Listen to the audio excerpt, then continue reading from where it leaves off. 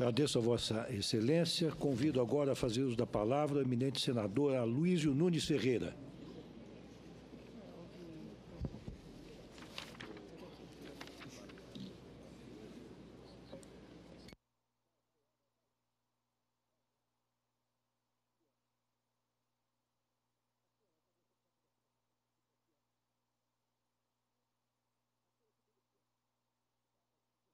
Senhor presidente, senhora presidente, é um fato notório, senhora presidente, que o seu governo omitiu o registro obrigatório do Banco Central de passivos vultosíssimos, ultrapassaram 50 bilhões de reais.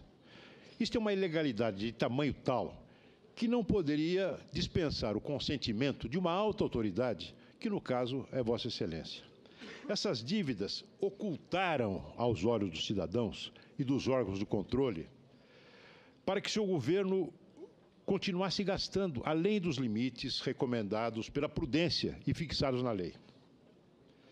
A senhora descumpriu, assim, um dever fundamental, que é o dever da transparência, que é o fundamento da confiança que deve reger as relações tanto nos contratos, nos contratos privados quanto no contrato político no exercício do seu mandato. Mais ainda, tem a sua assinatura os decretos que, quando foram emitidos, estavam em desconformidade com os limites da lei fixada pelo Congresso na época. E com isso a senhora usurpou competências do Congresso. Quero dizer também à senhora que, na minha opinião, a senhora, de caso pensado, cometeu os crimes de responsabilidade contidos, definidos na Lei 10.079. E a senhora se apresenta agora como vítima de um golpe.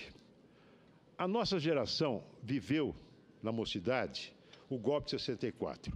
E nós sabemos muito bem o que é isso. E nós trabalhamos para reconstituir as instituições democráticas do país que hoje se apresentam pujantes e, da qual, e das quais todos nós nos orgulhamos.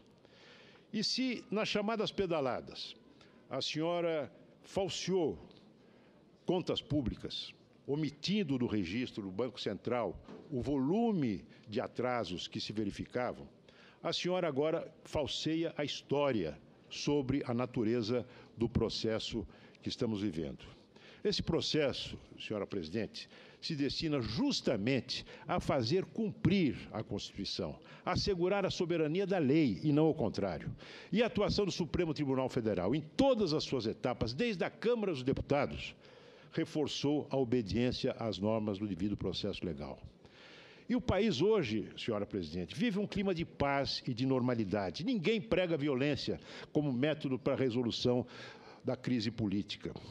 Todos que quiseram se manifestar pacificamente o fizeram. A própria imprensa, que muitos qualificam aqui de golpista, registra os fatos e repercute todas as opiniões, sem reservas. E o vice-presidente, que foi eleito diretamente na sua chapa, exerce o papel que lhe é atribuído pela Constituição que a senhora jurou obedecer. A agenda do impeachment já vai ficando para trás e os partidos políticos, todos eles, já se preparam para as eleições municipais e para as eleições que virão em 2018, que haverão de ser de transcorrer em normalidade e com o país já saindo da crise. Portanto, eu indago, como golpe? Golpe com a supervisão do Supremo Tribunal Federal? Golpe quando a senhora vem exercendo todo o seu direito de defesa em todas as instâncias, não apenas aqui no Congresso, através do seu ilustre advogado, mas também perante a opinião pública, mobilizando apoios. A senhora sabe que o Supremo Tribunal Federal é o órgão que compete, em última instância, à guarda da Constituição. E a senhora sabe também, sabe também, que cabe ao Ministério Público a, incumbência da defesa da ordem jurídica como um todo, e não apenas das formas jurídicas.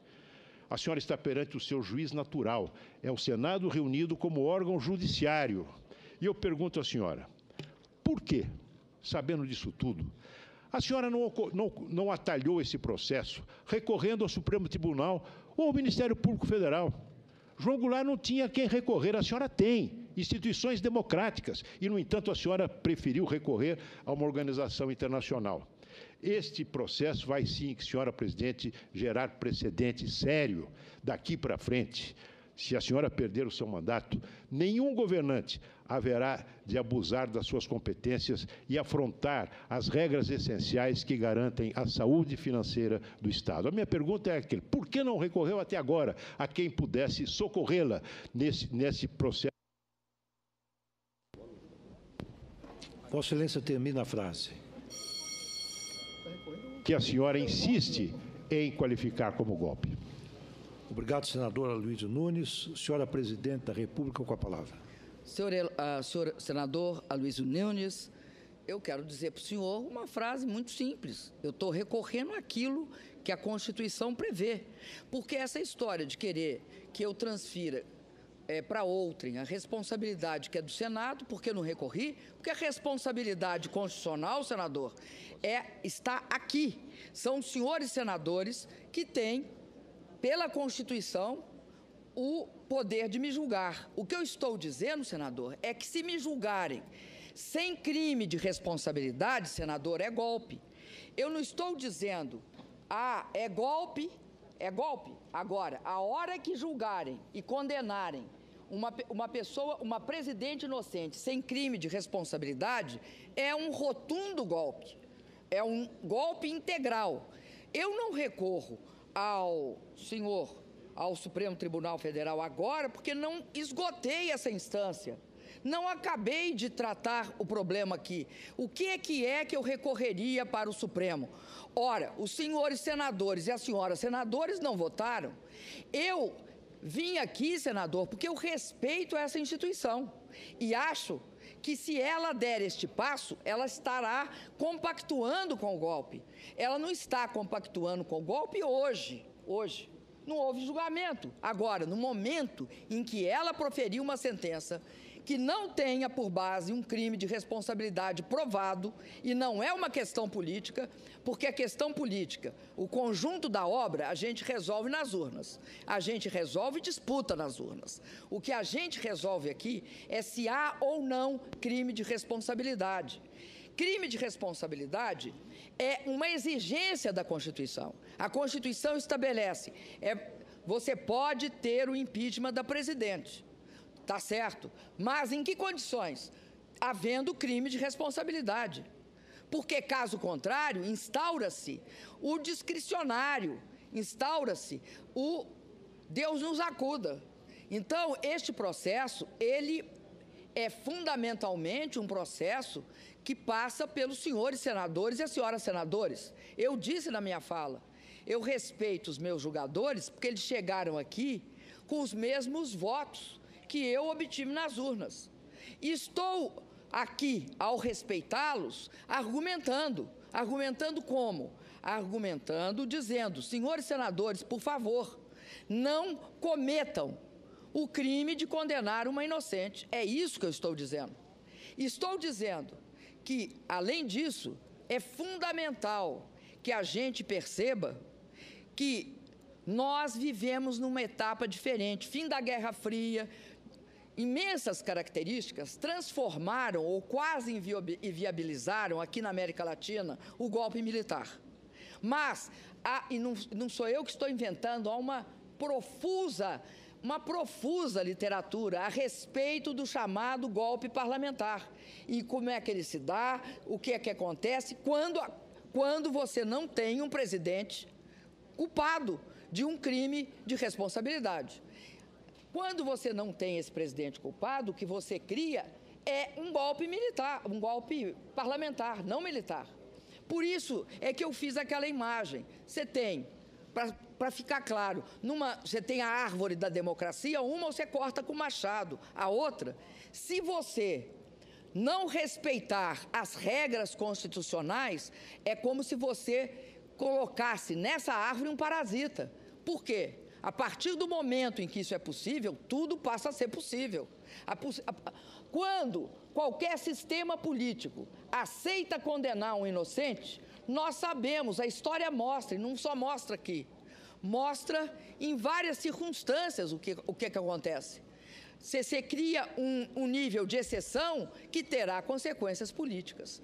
Então, é nesse sentido que eu falo. Eu não estou aqui dizendo que hoje há um golpe de Estado.